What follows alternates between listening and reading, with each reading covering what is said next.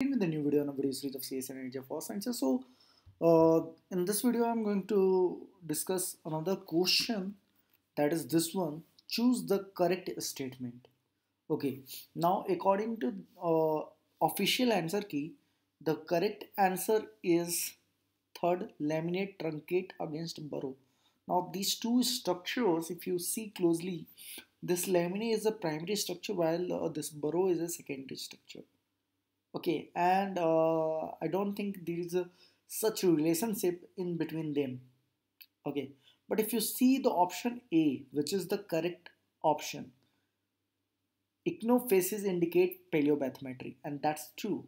So the evidence regarding the same here we have the paper by gsi and uh, what they did is uh, they used this ichnofossils of a Yalur area to reconstruct the paleobathymetry of that particular region.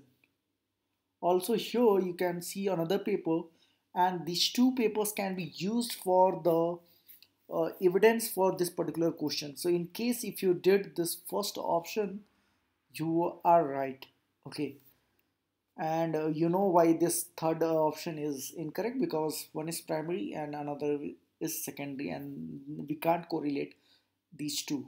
Okay so that's it for this video. I hope uh, these evidences help you a lot. And if you search on the google you will get tons of other uh, papers also. Even there are some uh, trace fossils or microfossils like foraminifera can be used as uh, paleobathymetric uh, evidence. Okay